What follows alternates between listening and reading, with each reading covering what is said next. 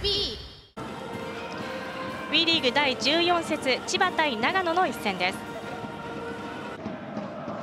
まずは前半16分長野のシーン。コーナーキックからこの変化をつけたシーンです。伊藤のロングシュートは枠の外。キャプテン伊藤が放っていきました。この浮かせたボールでしたがゴールからは左。そしてゴールシーンです。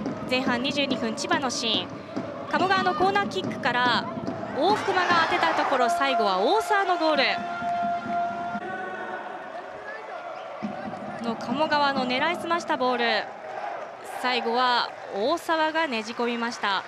大沢は第8節以来6試合ぶりのゴールです。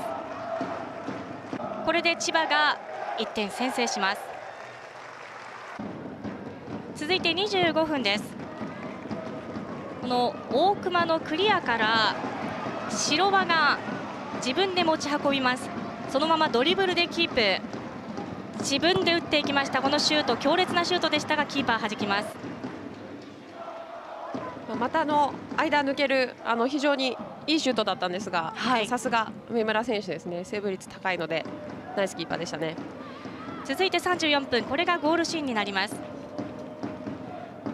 この鴨川選手のパスも非常に素晴らしかったですね。あとは白輪選手あの藤代が。藤代選手の走力とあとはそこを信じて走ってた白輪選手ナイスプレーでしたね。あの非常に多くの選手が連携してあの生まれた素晴らしいゴールだったと思います。ギリギリまで粘った藤代。そして長い足を伸ばしていった白輪のゴールです。白輪は今シーズン初ゴールになりました。